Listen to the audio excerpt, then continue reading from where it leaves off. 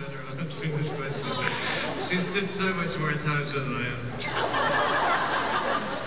That's not even remotely true. Um, I think the reason we're all really reluctant to answer that is because we don't see ourselves that way. Um, but definitely.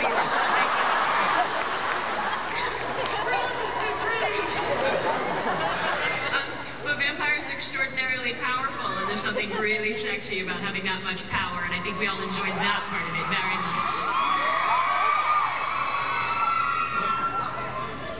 Next. Next question? No?